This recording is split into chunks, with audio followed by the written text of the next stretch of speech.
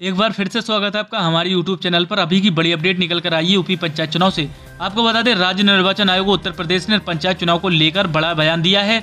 तो बने रहिएगा वीडियो के अंत तक और अभी तक आपने हमारा चैनल सब्सक्राइब नहीं किया है तो चैनल को ज़रूर सब्सक्राइब कर लें क्योंकि हम यहाँ पे रोज़ाना यूपी पंचायत चुनाव से जुड़ी अपडेट देते हैं।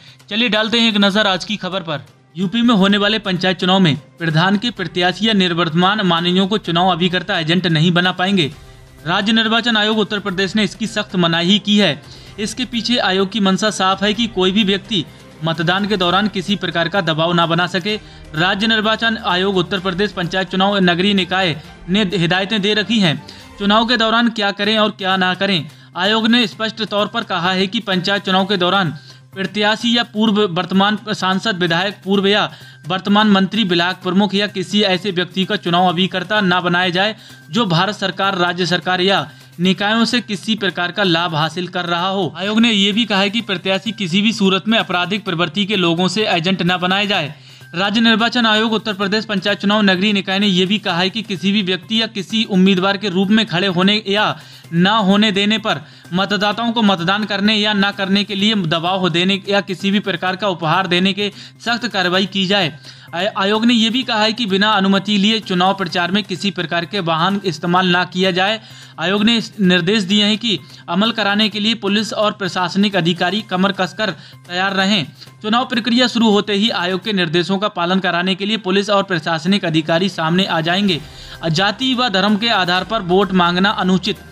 त्रिस्तरीय पंचायत चुनाव में जाति और धर्म के आधार पर वोट मांगने वाले प्रत्याशियों के खिलाफ चुनाव आयोग प्रशासन सख्त कार्रवाई करेगा। चुनाव आयोग ने स्पष्ट तौर पर कहा है कि किसी तरह की भावनाओं का फ़ायदा उठाना या भड़काना अनुचित है। ऐसा करने वाले पर कार्रवाई की जाएगी। चुनाव आयोग स्पष्ट निर्देश है कि चुनाव के दौरान किसी भी प्रत्याशी या उसके समर्थन के किसी भी दूसरे प्रत्याशी के व्यक्तिगत चरित्र को लेकर कोई टिप्पणी नहीं करेंगे। ऐसे करने वाले खिलाफ कार्रवाई होगी। आपत्तिजनक शब्दों का लिखित या मौखिक प्रयोग पर सख्त मनाही है। साथ ही एक और बड़ी खबर आपको बताते चले, उत्तर प्रदेश के मुख्यमंत्री योगी आदित्यनाथ ने सोमवार को अपने मंत्रिमंडल की बैठक बुलाई है। इसमें एक दर्जन से ज़्यादा अहम प्रस्तावों को मंजूरी मिलने की उम्मीद है। आईटी एवं इलेक्ट्रॉनिक्स विभाग के डाटा सेंटर की नीति के मसौदे को हरी झंडी दिखाई जाएगी।